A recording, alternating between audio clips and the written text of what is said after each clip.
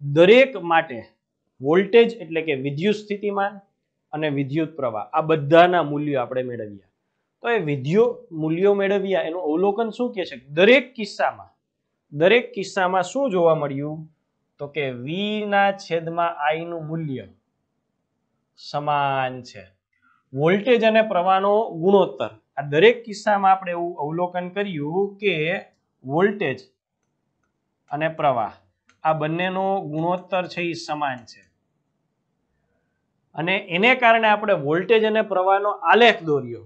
તો આલેખ શું કહે છે? તો કે આલેખની ખાસિયત શું છે? તો કે આલેખ છે એ ઉગમ બિંદુમાંથી પસાર થતો અને એનો આકાર કેવો હોય તો કે સુરેખા છે.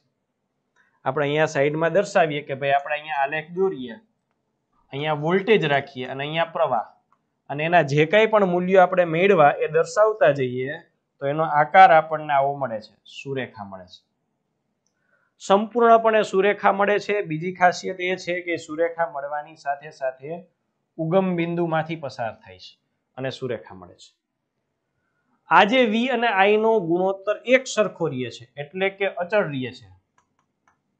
એ અચળ ગુણોત્તર રહે છે, એને નામ આપવામાં આવ્યું અવરોધ.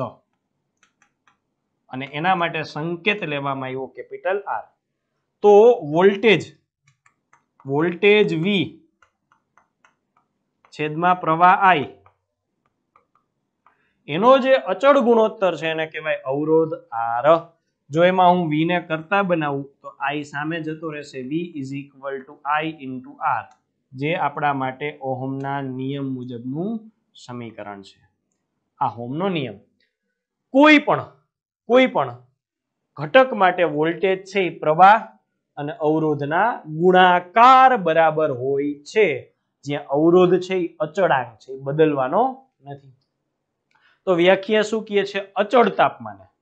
અચળ તાપમાને. કોઈ પણ વાહક તારમાંથી. અહીંયા આકૃતિ દોરીને આપણે સમજવાનો પ્રયત્ન કરીએ કે ભાઈ આ આપણને એક અવરોધ આપેલો છે.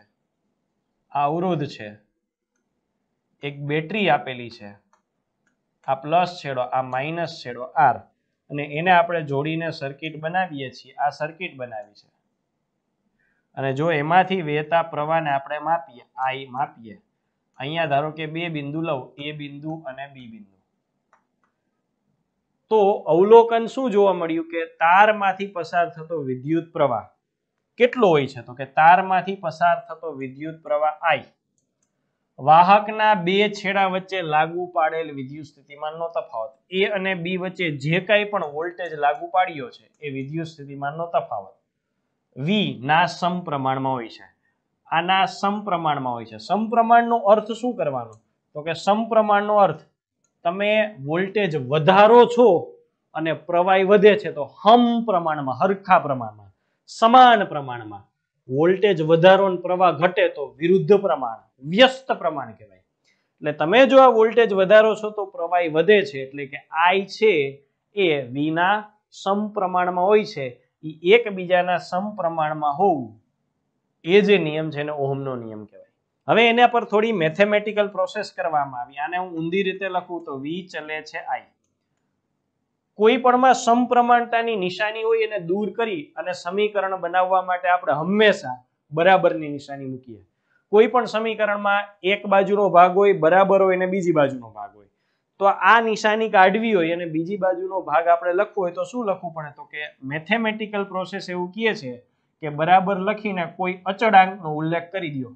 કે કંઈક અચળાંક એવો છે કે જેને મૂકવાથી અહીંયા આપણને પરફેક્ટ બે સાઈડની કિંમત સરખી મળે અને અહીંના કેસમાં એ અચળાંક તરીકે આપણે કોને લીધો તો કે અવરોધને લીધો. V is equal to I R